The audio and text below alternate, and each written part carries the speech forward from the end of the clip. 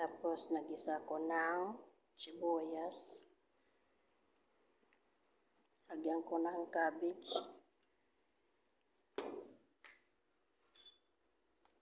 Para may hada sabaw.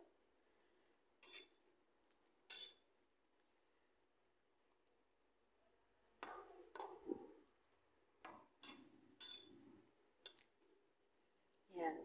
Tatakpan